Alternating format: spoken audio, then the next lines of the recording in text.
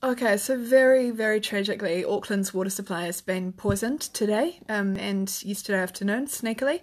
Um, that's my city, so it's uh, very close to my heart that all our wildlife has been mass tortured to death right now because our country is run by Hitler who, uh, in woman's form, and uh, that chemical is restructuring our water According to the latest international science all across the world, water has memory, it is pure consciousness, and that uh, killer chemical is now restructuring our water for um, absorption through the skin um, from our shower, at showering, and uh, and through our food and water supply.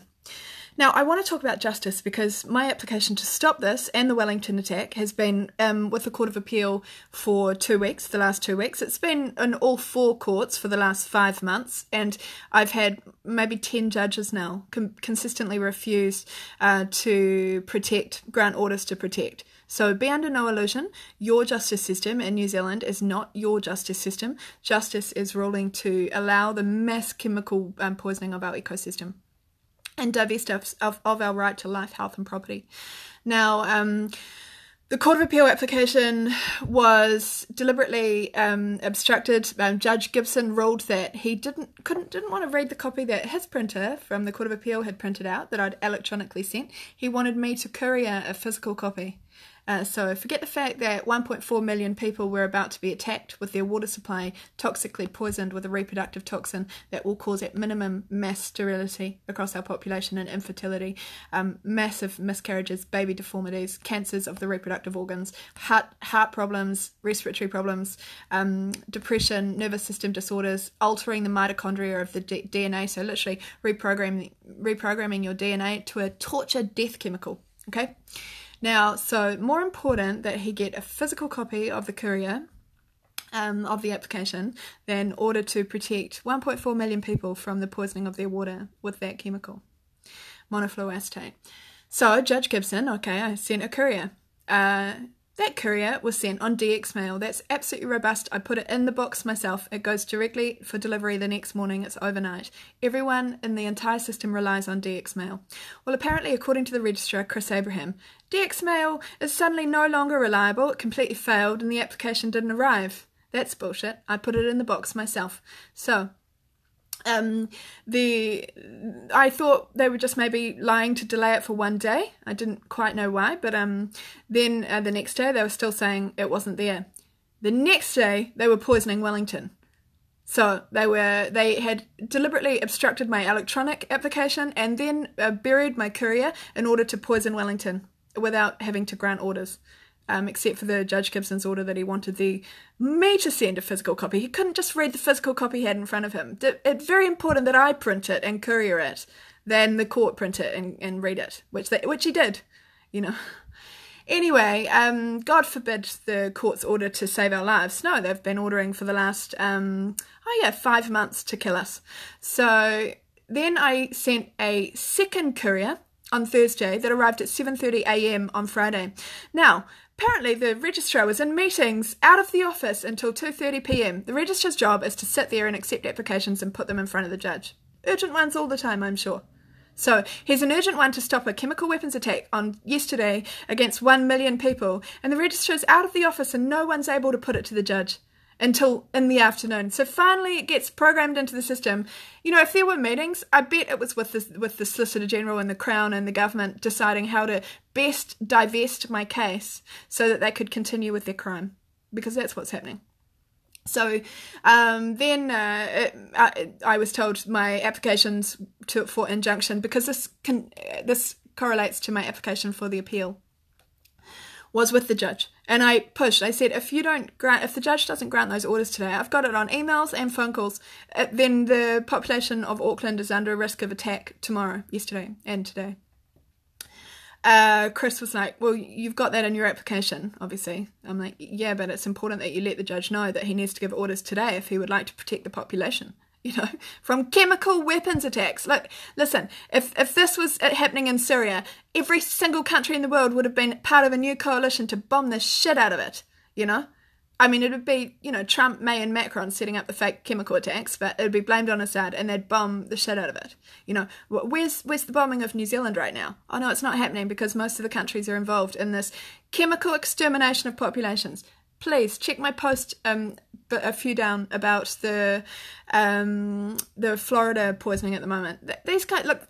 Anyway, I'll go back to the judges. So those interim, I wrote before the bombing happened yesterday. I wrote again to Winston Peters, Andrew Little, the Minister of Justice. I wrote to the Court of Appeal. I wrote to the International Criminal Court. I wrote to every single UN diplomat um, of every single country, and I said, We are about to be bombed with monofluoroacetate in our water supply of 1 million people. Everyone in the world knows that monofluoroacetate is a deadly, deadly killer.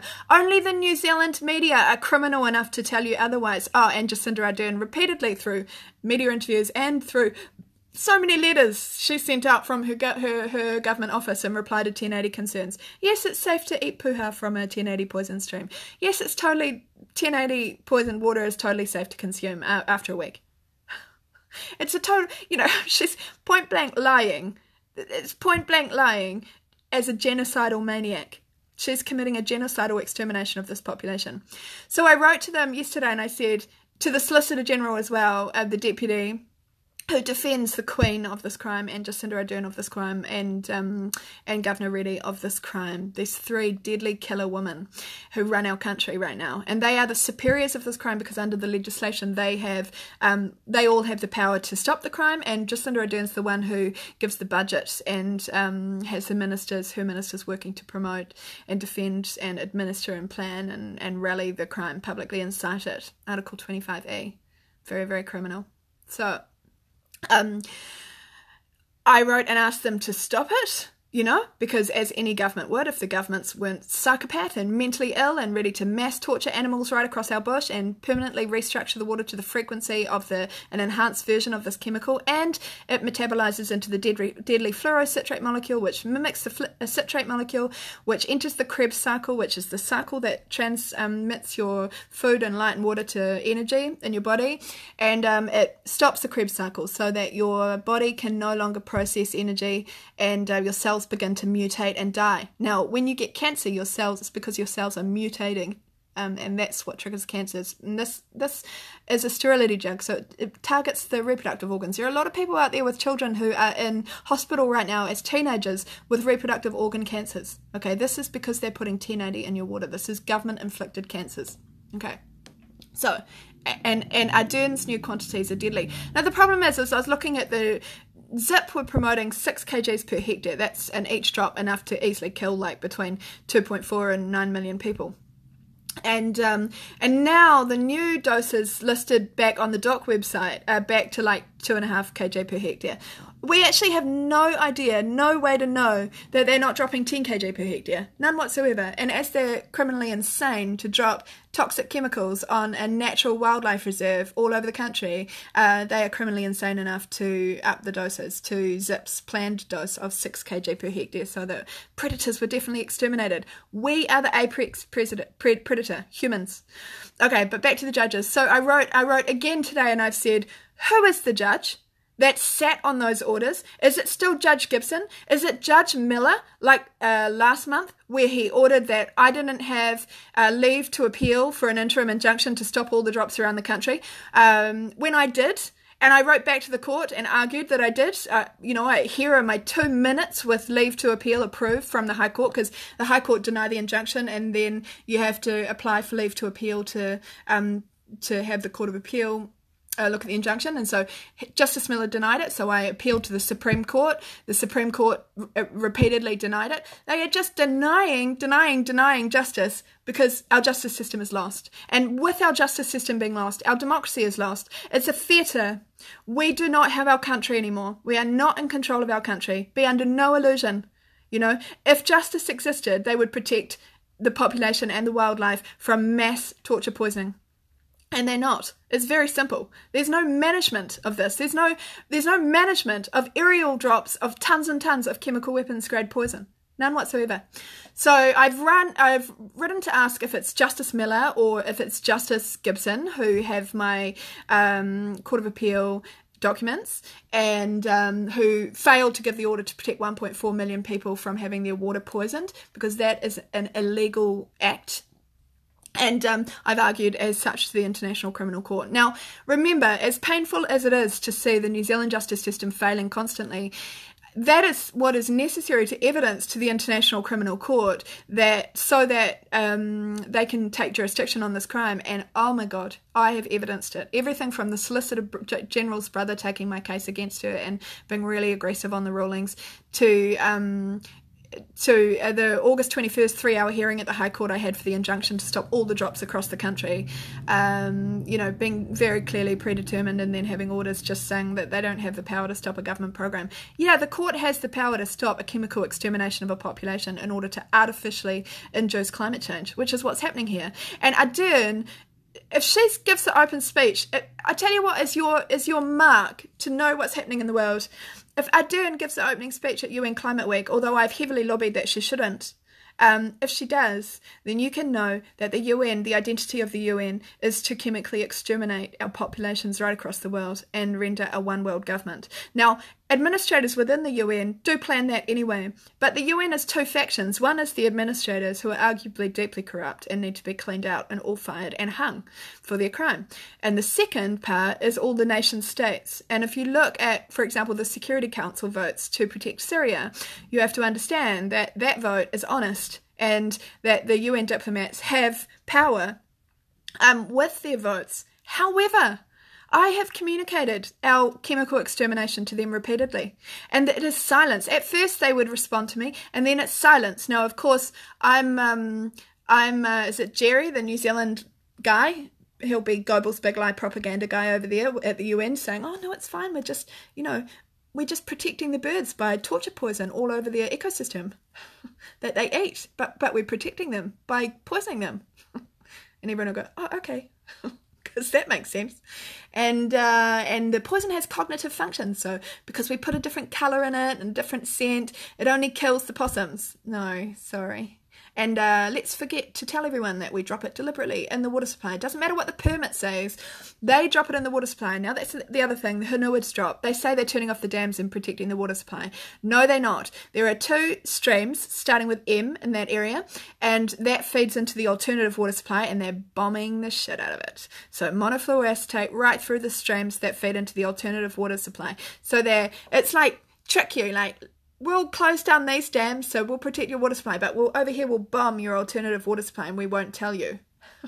So, South Auckland are about to be mass murdered by chemicals over time. This is a chemical that, over sublethal doses, bioaccumulating toxicity in your body, mutating your cells, killing your cells, you'll feel gastro pain and, and flu like symptoms and, and, and agony, um, respiratory difficult, heart problems, um, maybe, you know, eat the wrong sandwich of a cow that was sent to the works because it was 1080 poisoned, feeling sick, and uh, die of a heart attack overnight, six week cancers with the right dose of the fluorocitrate molecule traveling through your water supply, um, or by the inha- by the fact that it changes the frequency of the water to be this chemical, um, you will have sterility over time. And sorry, I'm massaging my temples because I have been under systematic EMF frequency attack um, for the last two months because um, of doing these cases. But right now I'm still alive, so that's the main thing.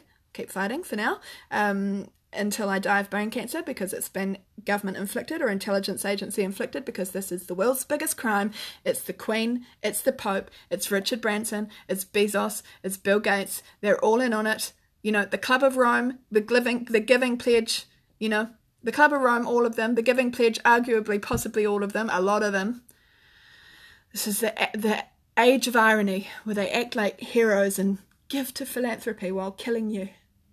It's brilliant.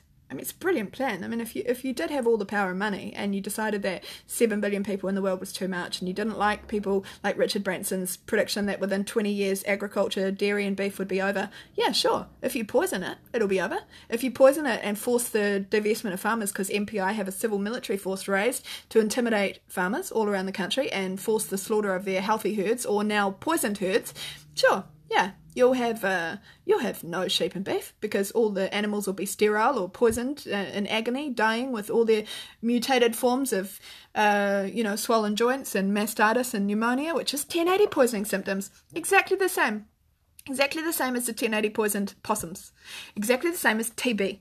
Exactly the same as Mycobacterium bovis, which is what they artificially inject into uh, animals to cause TB. TB, Mycoplasma bovis, and Mycobacterium bovis are the same. It is the fake disease cover narratives used to justify the symptoms of animals from 1080 poisoning.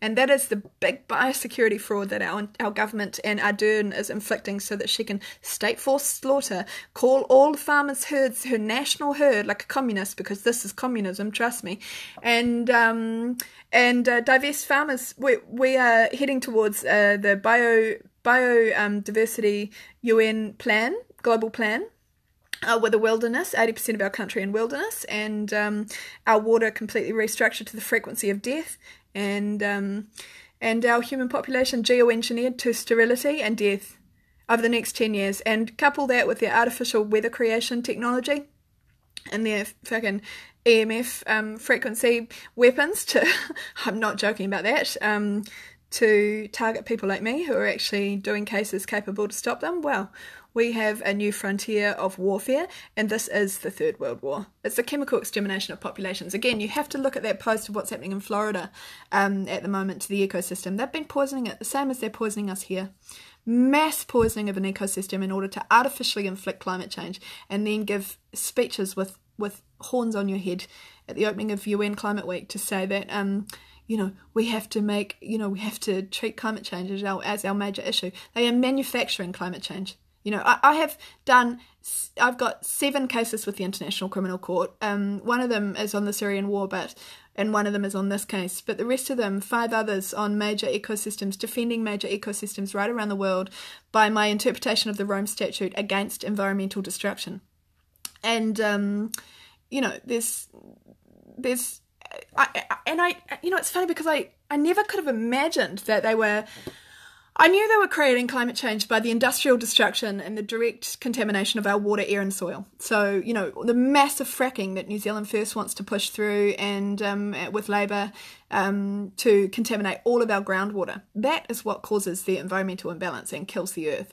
But they are talking about this. Um, bullshit about carbon where it's 0.4% of the atmosphere. I mean, it's 0.04%. It's one and every industrial molecule of carbon, industrial dirty industry carbon dioxide is only one in every 86,800 molecules. So what are the rest of the 86,800 molecules doing? You know, it's only 33 of those molecules are carbon and CO2 and only one is out of, uh, you know, is industrially induced and that metabolizes um, out of the ecosystem within three or four years anyway, naturally. So it's like you know, blaming the breath of life for the contamination of the world. It's just absolutely illogical. But you know, tell that to the the mind numbed, brainwashed idiots who are saying we need to stop climate change. Listen, they are using HAARP stations all around the world to inflict weather forced weather. You know, when the when the snow dump comes in the South Island, you do a burn test on that snow and you see if it burns or disintegrates. If it melts into water or if it disintegrates, because if it disintegrates, it's artificial snow and it's been created through heavy metals, through silver iodine being dropped right through the ecosystem so that it forms the snow particles and it induces unnatural levels of snow and unnatural temperatures. So they are artificially creating this on us, inflicting this on us, and um, you know that coupled with the chemical extermination i mean it, it, poisoning our entire ecosystem unbalancing the earth i mean they have just um, poisoned the um, fault entire fault line of the um, south southern alps and the west coast. So you know and then they they've got their trusty Newshub criminal um, public incitement crime people um, telling you that there's going to be an earthquake there because it's been predicted for 300 years. Like no, there's going to be an earthquake because frequencies have unbalanced the plates. Um, frequency technology has been used to shift the plates, and then chemical poisoning that the earth soaks up and screams out in agony the plants and the soil and, and, and into the underground water. Um, and while the earth is screaming in agony, that is also potentially enough to shift the plates. So, you know, this has been artificially engineered. This is the biggest crime in the world, and New Zealand has been in the midst of it because Ardern, the the modern day equivalent to Hitler, through running this open air extermination program on us, is uh, is running their kill program with a big smile on her face. I really want to know what operation she had or what happened in the mental hospital when she went there two years ago. She was checked into a mental hospital. Barry Soper reported on it two years ago. I, I would love to know if she was chipped into the artificial um, te- intelligence singularity, you know, um, because you know we are living in the time of EMF frequency, artificial intelligence warfare, and you know so much of it is not communicated to the everyday person. You don't know what's going on. You know, I only realised that the EMF, you know, having been aware of it for a long time, but that it's been used because I've been systematically attacked for the last um, two months by it, and really, really high frequency attacks now. You know, I mean, it's so painful to live with a swollen brain and aching, aching temples. It's not like a headache. It's like it's like frequency has attacked my temples, so it's incredibly painful. And um, the other week when they got me, um, my entire brain was swollen against my skull. It was just awful and I seem to just recover and they get me again. So, um, very frustrating, but it's the price because this is the world's biggest crime. And if, you know, because our justice system is, is behaving in such a, a way of corruption, and I've said this so many times now to Andrew Little, I'm not getting responses from him, you know, which is unacceptable, but he's presiding over the death of democracy and the death of justice. He, the, the justice system is behaving like a mafia. The, ju- the law protects us from this crime. There's no question. Any judge who does not order that these drops stopped um, and they, and does not and blocks the evidence being judged. Like they're not judging the evidence; they're using technical excuses not to, you know, like the High Court's ruling on my injunction um, hearing, which is that they don't have the power to stop the crime. But the, even the way the minutes are written, they're completely biased. They're they're to written to discredit the um, application and to um, uh, to shield those who are criminally liable from responsibility, to shield the Queen, Ardern and Reddy. And the problem is, is, you know, I've said this before, the only way to get rid of the judges who are acting in this criminal way is through the Queen under the legislation. So, you know, and uh, unfortunately, our elections are counted at a nest down in Christchurch. It's very unlikely that they are um, genuine elections now. Not with this crime going on, not with National and Labour being effectively the same party. They both run an austerity economy. They'll both crash the economy prior to 2030 so that they can divest us of the NZD and install carbon currency. That's the global currency. Um, based on something that is just completely irrational because carbon dioxide is the breath of life. The Paris Agreement doesn't tax carbon monoxide, your fuel fumes out your exhaust. You know, I mean, that's lot. Everyone thinks carbon, carbon monoxide. You're being taxed for your car fumes, your direct pollution of the air. No, no. Carbon dioxide, what you breathe out to give life to the plants in the ocean, and what the ocean and plants breathe in to give life to our entire food supply and living ecosystem. I mean, it's just a joke. The irony is just beautiful as I said, I mean, if you wanted to depopulate the world and um, take, you know, be the first ever global government, this is just genius. It's a brilliant plan, except it's highly criminal when everyone's dying, and Ardern is leading it for New Zealand. And Winston keeps her in power, and all her little soldiers stand by her and um, let their people be exterminated. We're being chemically exterminated, and everyone in power. I mean, I've said this before as well. If Kevin Short and Mike Bush were real men, they'd be using their police and their army to protect us. They're not. They're facilitating the crime. They're, they're traitors. They're traitors to their nation. Kevin Bush and Mike, uh, sorry, Mike Bush and Kevin Short, traitors to their nation. That's the head of our military and head of our police. Traitors, absolute traitors. You know, so sick. They are they are using their their manpower to kill the families of the people that work for them. But I mean, you know, there's so much propaganda propaganda around because you know our you know John Key gave a loan to Newshub for example, to for American Oak Tree Company to own our um, media and um, feed us propaganda and um, who's the rat looking guy, the old rat who owns Murdoch, who um, owns New Zealand Herald and a whole lot of the other media, and Gina Rinehart, the obese person who thinks we should all be paid one dollar a day labour. Um, she owns all the mining. She owns um, Stuff News. I mean, there's just a whole lot of um, criminal industrialist, uh, genocidal maniacs who own our media and uh, the people who work for them are criminally liable for publicly inciting this crime under Article 25F of the Rome Statute. So I hope they're ready for their liability at some stage because unless no justice exists in the world, there's no way that the Queen, Ardern, and Reddy are not going to be held accountable for chemical attacks, systematic chemical attacks on their population. That's what's happening right now. I swear to God, if I had money in an army, I'd bomb the shit out of Parliament. Unfortunately, I don't have money, I don't have an army, so I'm allowed to say that because it's not physically possible. But in a fantasy, um, that's what I do right now. But unfortunately, I can't, so that's all right. Um, but I mean, honestly, that's how broken the system is. We need to be put into a state of emergency. And um, I don't know, maybe another country would consider coming to our aid because if, um, but, um, but how many of these countries know exactly what is happening? You know, they know that we're exporting poison product to the world. China has um, developed a test for 1080, you know? So they know that we are exporting poisoned milk to them and that a lot of their mass increase of cancers is, is probably coming from consuming our poison product. You know, there's a mass cull of the population. These people in power believe that the population needs to be decreased. And this is their solution chemical extermination.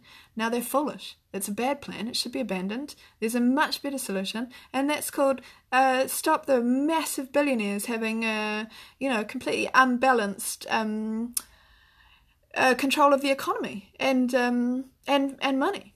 It's crazy. It's uh, it's irrational, and it makes them falsely believe they have godlike powers, and they're using that to mass murder.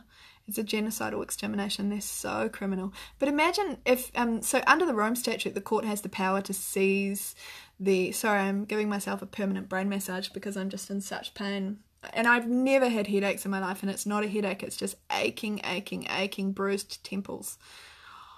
God, it's terrible. I'm going to die by le- government order lobotomy or intelligence agency. I don't obviously know exactly who's inflicted it, but it's come through the phone line. It's come through using my Google book. It's come through um, being shot out of helicopters following me. So um, it's like an electricity jolt through your head, or it's happened to my breast as well. It's fucking terrible.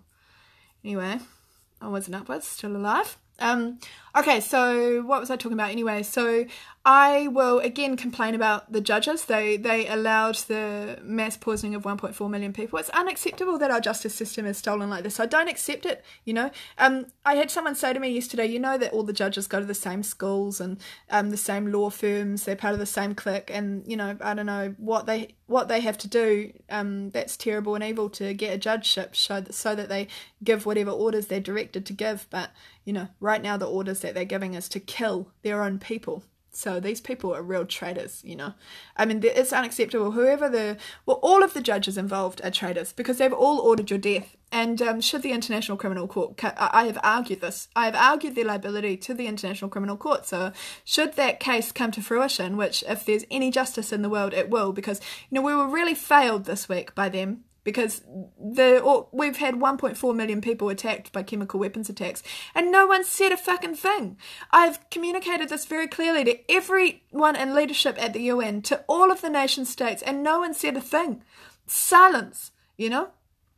And, um, you know, uh, the only people who get airtime are fake as well. Look at that, you know, what's her name does this 24 hour fake claim um, that in the environment court they had absolutely no possibility of winning. And um, and because doc owned the environment court and she's an ex-doc lawyer. And um you know it, it's so ridiculous because all the media are all over it and using it to discredit 1080 like it was just a big staged platform really. Well i've had 20 applications in for injunctions. I've had three hour hearing. I've had conferences. I've had everything. No media you know I've sent the press releases to media. They know. I three days before the Radio Live interview, I sent a press release to media calling them traitors. You know, because they are.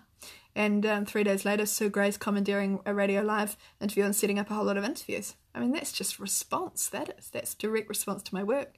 Now there's rumours she's saying she's going to do a criminal claim. Um, but she'll do it against someone really low level, you know, so that um, it again gives a competing narrative for the media to promote um, that's not real. Um, when my criminal claim is real and it's been five months in process and completely divested across all four courts and, you know, 10 judges now. Regardless, our justice system is the people's justice system, and it is unacceptable that these judges keep doing this. They are ordering our death and they are criminally liable for it. It is very obvious from their conduct that they are managing justice in a way that is inconsistent with justice and it's not legal. Now, under the law, the only person who can remove them is the, is the Queen, but that needs to change, or we need a new Queen. And, you know, the case that I've got is against the royal family because they have been chemically putting um, fluoride and 1080 in our water to chemically harm us since the Queen came to reign in 1953. It's a chemical extermination. And um, now they're going for world government. I mean, it makes sense if you had 53 countries under your control, you definitely want to try for 197. And that's what's happening right now. And that's why my brain's being attacked because they don't like the opposition. Well, silence at the UN. If Ardern gives the opening speech at the UN next week, you can know the identity of the UN is to kill you. you know. And there's a whole lot of people in there who control it who already have that agenda. But, you know, if the nation state leaders have all been informed what she's doing, so if they allow this, then uh, that's the identity of the UN. It's tragedy. And uh, climate change is being artificially inflicted. And all those who stand against the big lie are being um, inflicted with brain disease by EMF frequencies in their brain. That'd be me right now. Oh, I don't know what else to say, except I will update you on who the judge is, who is responsible for not giving the orders and sitting on the orders so that we could be chemically attacked in Wellington and Auckland. Judge Gibson, it was in Wellington, and Judge Miller before that at the Court of Appeal. I've named all the judges before in the High Court um, Justice Churchman, uh, Woolford, Courtney, Fitzgerald, um, uh, Jagose, uh, um, Ryan at the District Court. Um, Dawson, I think, at the District Court as well. Um, the registrar at the Court of Appeal that has delayed is Chris Abraham, the registrar at the Supreme Court that um, has just um, illegally refused um, about seven, nine applications now. Um, that's Kieran McCarran. It's really important that you know these people's names because in history it will show that they were the people who tried to kill you. Okay.